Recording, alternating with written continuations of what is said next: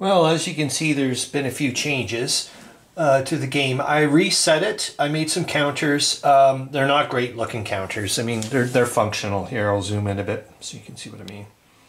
Um, you can see there, good.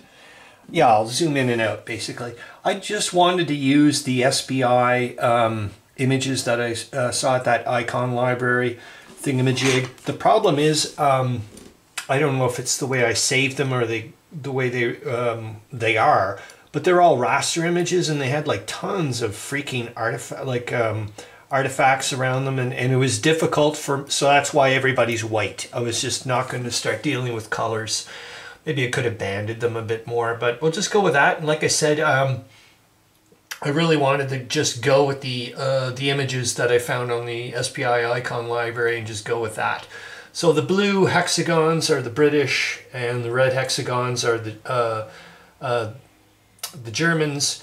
Um, I am using essentially, and Henry Mike uh, mentioned, he's like, and other people were alluding to it as well, and so was I about the scale differences. Um, I'm going with 300 meters per hex, so that really wonks out. Um, the soldiers in, in a sense, so I had to reduce some of the ranges. I'm hoping it'll still be a lot of tweaking. It doesn't really matter. Um, I can fix that up later.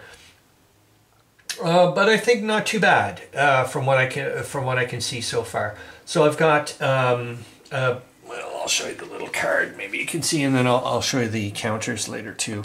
So there you go. So the British infantry, as you can see, um, as I mentioned before, the British infantry and German infantry are basically the same. So four attack, three range. So that would be about 900 meters. I, mm, I don't know if that's, you know, whatever. Let's, like I said, we're just going with it. The riverboat gets essentially, what, 4.5 um, uh, 4,500 or 4.5 kilometers pretty good. A British machine gun, so on and so forth. I just, like I said, we're just going to play with it. The rules, I'm sticking the soldiers' rules, except for obviously the light terrain. It doesn't have it. But, uh, oh, so we're going with that. The light woods, like I said, um, if you're adjacent to them, they're just like being in the open, two, uh, two defense.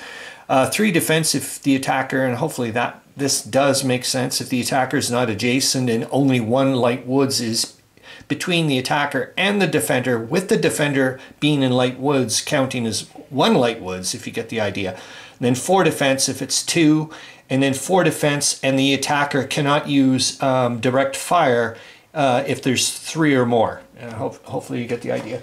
Yeah, I've been rolling for the um, the riverboat over here. Um, I gave the player the option to go this way or that way. Um, I went this way just due to the fact it's a lot easier for me to get um, observed fire towards the town. I'm pretty sure. So far, so good. I rolled, I, I needed to roll, um, uh, as long as I didn't roll a 9 or more, I was okay. Now we're into some weird land here because I'm not used to, uh, there's just so much hidden movement right now. Um, remember the rivers essentially are like canals and from, a, from what I know, from what I've been reading, if the um, the units are like uh, right behind the river or the canal thing. Uh, let's hold on here. Let's make sure I got it right because I don't think you're you. It's on it. If it is, then I'm in trouble. Um, but if they choose to move out of the canal, so maybe I should have stayed on the canal. No, I, am going to use it because you should be behind the river. It's like the riverbank, and you're kind of hiding behind there. That kind of makes sense, I would assume.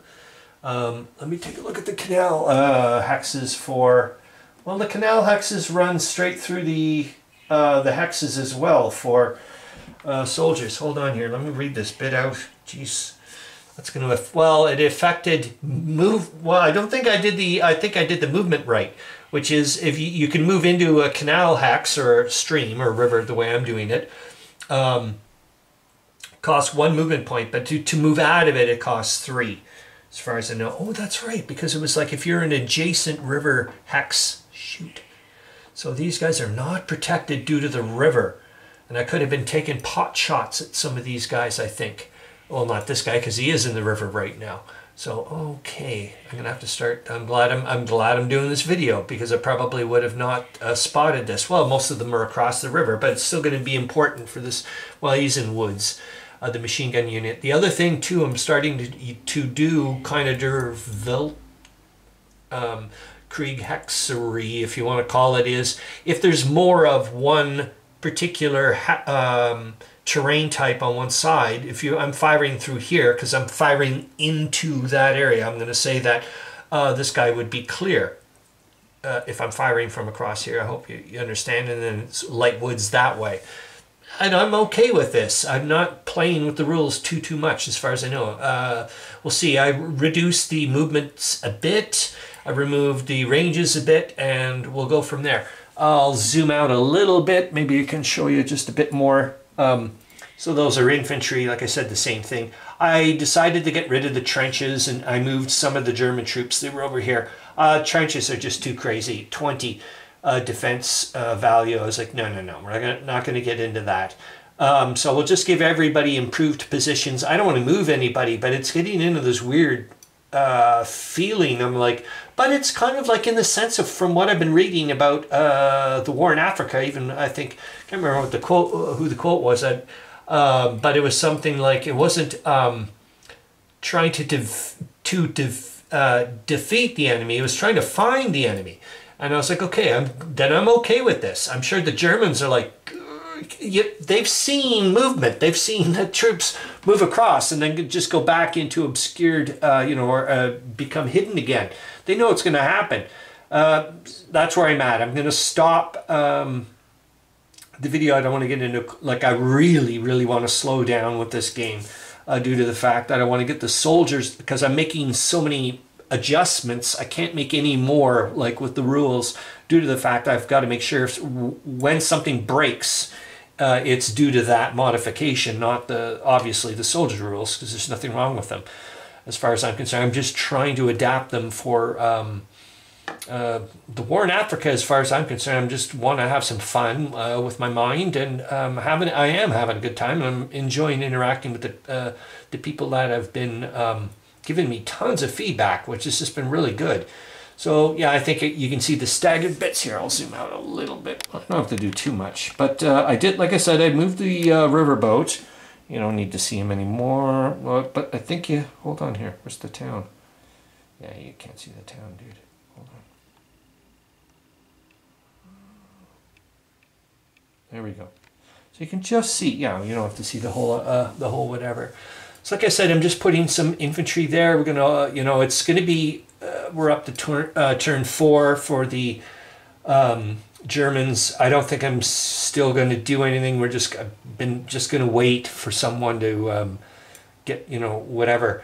This is going to be important though, due to the fact that if that's the case, that they have to be on the river, on the canal or whatever to um, get that uh, hidden movement bit. I think. I'll have to take a look again because that's going to be important because um, if they're not, because before I was playing it almost the opposite way. I was going to say that, um, like if, well, hmm. yeah, I was playing it if you were like here more of like on this side towards the hex. Okay then, like I said, we're going to go that way. So they'll still be hidden once they move across the river, but then you're adjacent and I see you because you're adjacent. So these are two spots that the, the Germans are going to have to realize, or, I mean, the Allies are certainly not going to go towards there. And um, I'm not going to, I was thinking about doing some interdicting fire towards that area, but I'm like, well, obviously I don't have to because as soon as they appear there, um,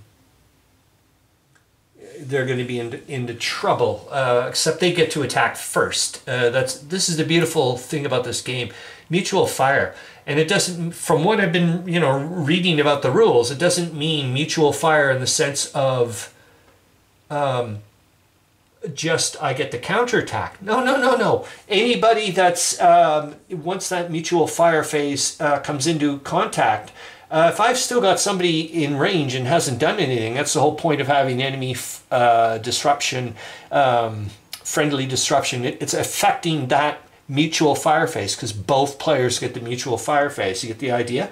It's flipping them. it's like, I, I just think it's like, whoa, really nice, really, really nice.